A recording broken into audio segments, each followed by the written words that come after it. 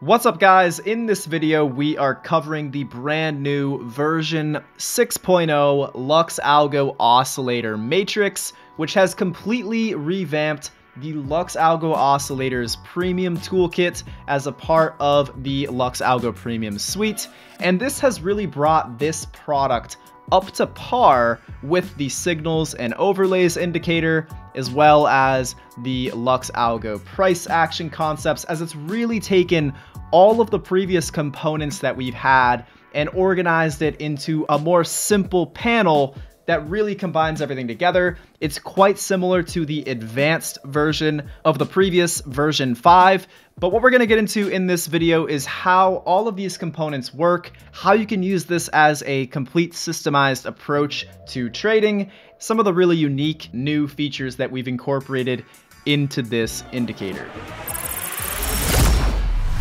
Okay, so let's get into all of the components of the indicator right now. And to make this easy, I'm gonna go through it pretty much one by one through each section.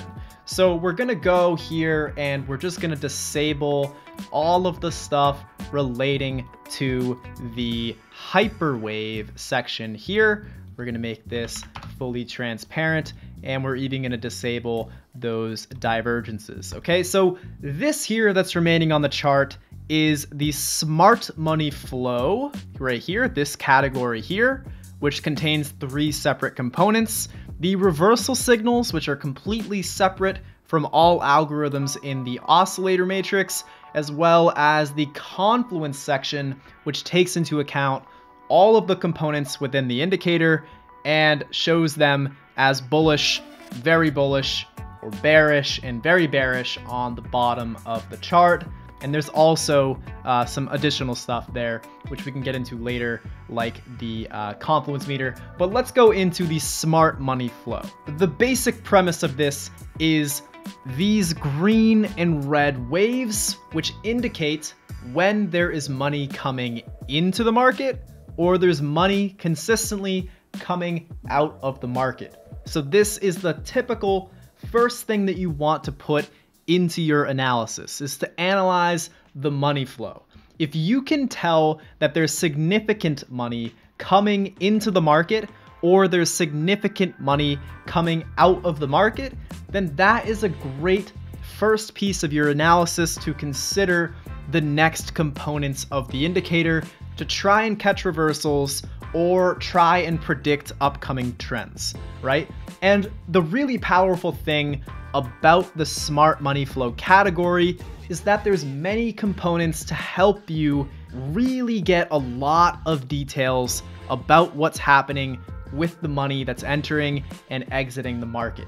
My favorite thing about this is that with the thresholds, which are these lines that show you where significant money would be coming in or leaving the market if the money flow was near them, is that if the money flow is actually significantly far away from these thresholds, you can immediately have a good indication that the market is ranging. So this is a super easy way to immediately identify if any market is ranging or trending.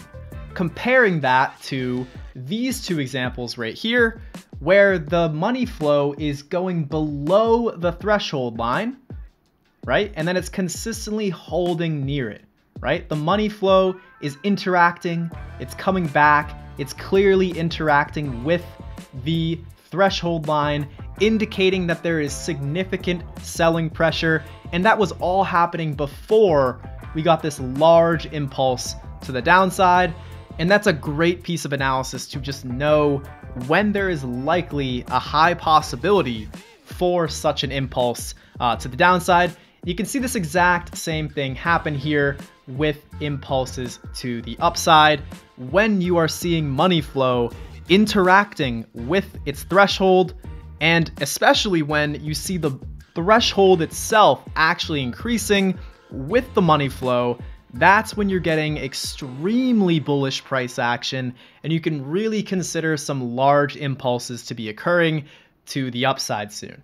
And that's exactly what we see here with this uh, pretty much parabolic move uh, here on the hourly chart. And what you'll notice here uh, you've probably been wondering what this wave is right here, this lighter wave. This is indicating overflow. So it's excess buyers coming into the market. The actual strategy to trading with this overflow in your analysis properly for analyzing the money flow here is to wait for it to discontinue, right? So as soon as this overflow actually stopped, that was right here. That is when we were confident that the buyers have likely completely exhausted themselves and we should not consider any more impulses to the upside unless we see something obvious on the money flow next. It's like the market needs to reset itself, or there's been a significant reversal that is likely taking place. You can notice that here on the upside, as well over here on the downside, right as the market was bottoming out, you got that indication of an overflow of selling pressure. And as soon as that completed, we were confident that the sellers have been completely exhausted out and we can potentially expect a larger reversal, which is exactly what played out right here. A very large impulse was starting as this overflow completed. And you can see that on these previous downtrends, there was no overflow. That's indicating to us that there are still significant sellers and there's really not a high probability of that bearish trend being over yet.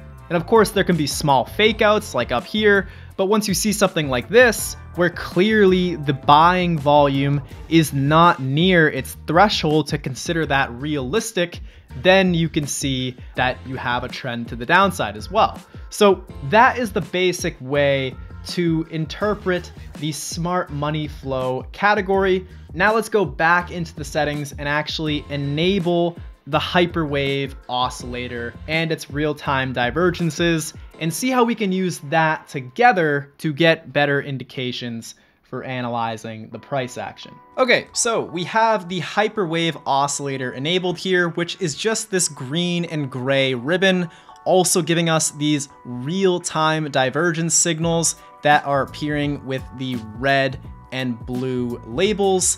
And what this oscillator is meant to display is the momentum in the market, okay? And it's really helpful for identifying potential upcoming impulse moves and trends, right? So using this oscillator in combination with the analysis that we just went over of the smart money flow category is extremely powerful, and that's specifically what we designed this indicator for. So some basic examples and usability for this indicator is when this oscillator is generally moving below the 50 level, like down here, especially when it is below the 20 level, you can see the values right here, that is when you're going to get some bearish price action like this. If the oscillator is specifically holding down here, that's indicating we're in a bearish trend. So you may see some counter signals while this is occurring, but as long as you can look for the higher probability reversal signals like this overflow here, as well as in combination with a large reversal signal on the bottom of the oscillator and this bullish divergence, that's when you can get confident in seeing a larger reversal after a significant trend like this. And the same goes for the upside. We're looking for the oscillator to hold above the 50 level. If the hyperwave oscillator is holding up here, that's when we're likely to see bullish impulses to the upside. And we can notice as it began coiling after this bullish divergence right here, we can see the oscillator is coiling up going over the 50 level and that all occurred before we even got any impulse, which gave us a clear indication that this impulse to the upside is likely to occur, especially when considering the money flow was nowhere near its threshold down here. That's when we got this huge move going to the upside. And you can see further that, of course, we have these reversal signals, right? You can consider these reversal signals alongside that analysis of money flow as well as the divergences that we went over earlier, right? So around here, we can see there is overflow, and as soon as it stops, we can notice that this is at the very top of this impulse, and it's giving us an early indication that the market is likely to have a reversal to the downside. We can see that the money flow is now dropping below the threshold and holding below. We already have the hyperwave oscillator that has turned over and we have an active larger reversal signal that occurred right up here. So we are certainly looking for the move down.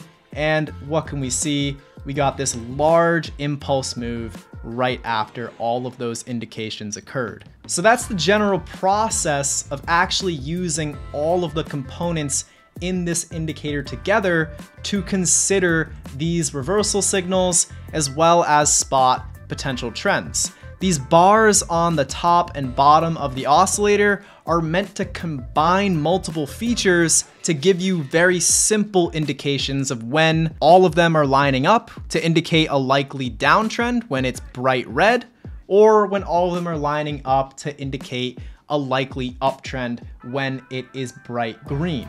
And these are called the confluence zones you can enable within the confluence section of the indicator. These are all stylable. You have the styling options for literally every single feature in here, so you can customize it however you like. You can adjust the settings of the reversal signals as well if you find there's too many or you just want to have the more significant ones displaying on your chart. And also to note is that these small reversal dots are just shorter term price action reversal signals that can also be useful as a potential warning sign to an upcoming larger reversal. So you'll find when the market is in a very clean range, just like here, when the money flow is not interacting with the thresholds at all, you can maybe put a bit more consideration into those actual reversal signals to find potential moves up or down. And that's only considering the shorter term price action.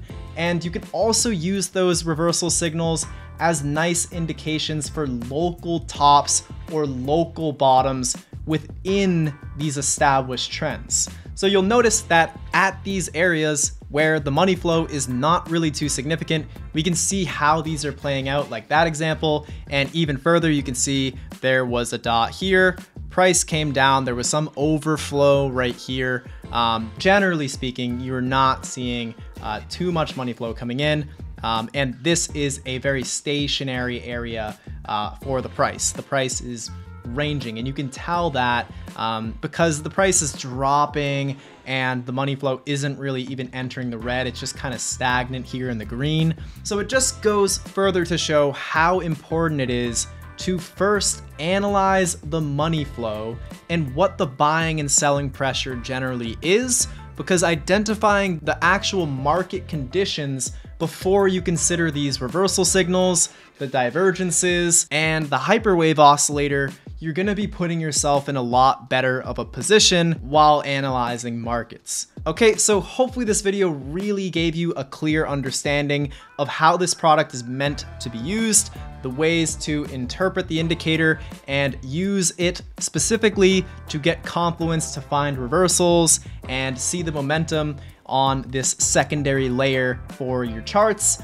Uh, we really think there is a lot of great usability that you can get by integrating it into your setups with the Lux Algo price action concepts, as well as the Lux Algo signals and overlays indicator, which of course are our other two premium indicators that you can get access to on luxalgo.com. So links down below in the description to get access to all of these indicators. And if you're an active member to get this update, the Lux Algo Oscillator Matrix 6.0, make sure to first remove the indicator from your chart, refresh TradingView on your browser or TradingView mobile app, and then go ahead and add the indicators back from your invite only scripts, and you will see the Lux Algo Oscillator Matrix 6.0 fully loaded up here on your chart. Thanks for watching guys, and we'll see you in the next video.